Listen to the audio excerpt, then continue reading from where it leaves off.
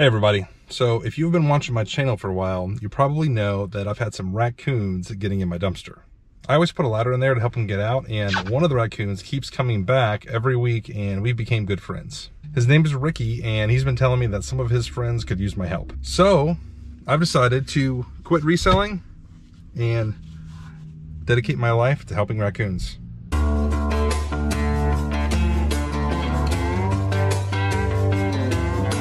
Now, before I jump into what this new opportunity looks like for me, I think it's important that we talk about how society has portrayed raccoons. Raccoons like to get in dumpsters and trash cans, so they've been given the nickname trash pandas. Ricky has told me several times that they don't like this term and they find that it's pretty degrading. He says it misrepresents who they are as a species and they really only get in dumpsters and trash cans when they need food to survive, when they can't find enough food in their natural habitat. He also says that they are not pandas. And he makes a good point. Outside of the black circles around their eyes, there really aren't any similarities between the two. With that out of the way, I'd like to introduce you to some of Ricky's friends that I'm going to be helping. This is Archie. He has a passion for sewers and plumbing, but often gets stuck and needs support getting out. So I'm going to get him an iPhone for when he needs help wiggling out of a sticky situation. This is Charlotte.